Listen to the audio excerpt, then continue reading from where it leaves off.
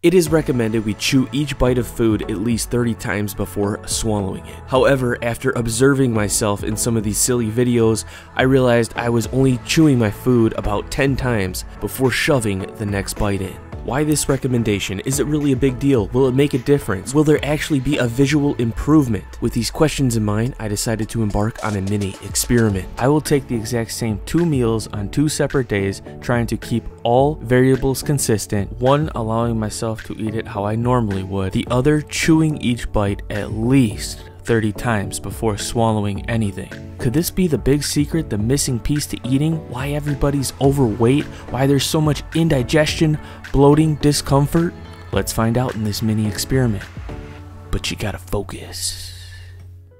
Now this experiment is far from perfect, but I tried to keep things as consistent as possible and tried to minimize any outside factors. So for the first day where I would eat regularly, I went into the first meal completely fasted. Beforehand, we took some visuals and some measurements.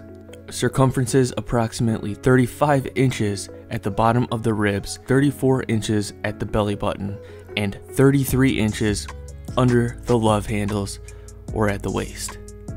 Now for the actual meal, I decided to choose something that I would typically blame the contents of the meal for bloating me. A heavier, richer meal, something with gluten, something with dairy, but something that I also could easily measure and keep consistent. Pasta with meatballs, creamy vodka sauce, and Parmesan cheese.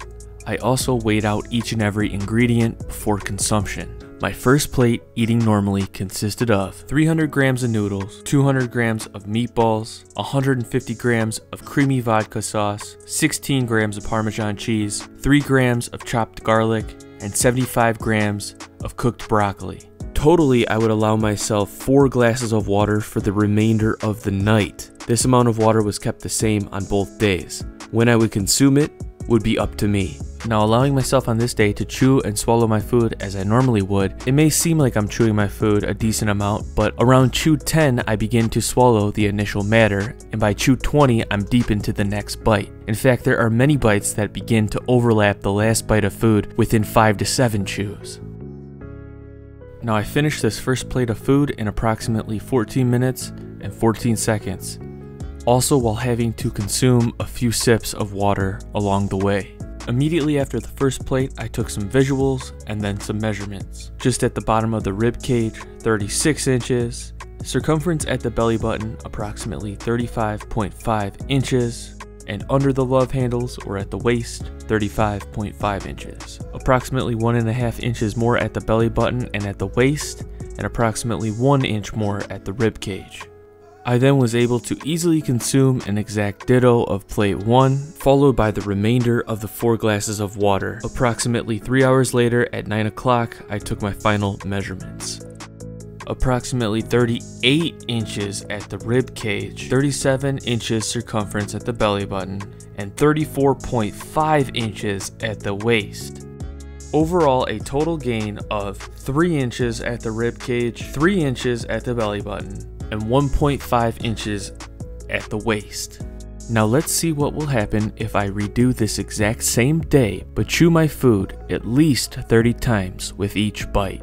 Now to keep all things consistent, we enter this meal at the exact same time, completely fasted for the day. We take measurements, 35 inch circumference at the lower rib cage, 34 inch circumference at the belly button, and 33 inch circumference at the waist. Luckily, but unintentionally, the exact same measurements the day prior in the fasted state. I then prepare the exact same meal and weigh out the first plate exactly the same as the day prior. 300 grams of noodles, 200 grams of beef meatballs, 150 grams of sauce, 16 grams of Parmesan cheese, 3 grams of chopped garlic, and 75 grams of cooked broccoli.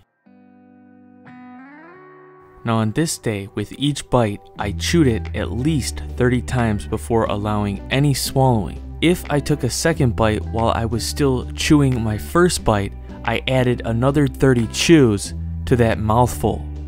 Now just as the day before, I had an emergency glass of water that I could drink if I needed to. However, throughout this entire plate of food, I did not have the desire to consume any water at all. Also, as compared to finishing my plate in 14 minutes and 14 seconds the day prior, this plate took me 26 minutes and 37 seconds to finish.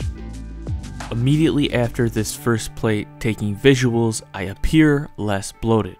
However, will the numbers also be less? At the lower rib cage, approximately 36 inches, at the belly button, approximately 35 inches, and just at the waist, approximately 33 and a half inches. So lower at every marker except for at the rib cage, which is probably closer to the stomach.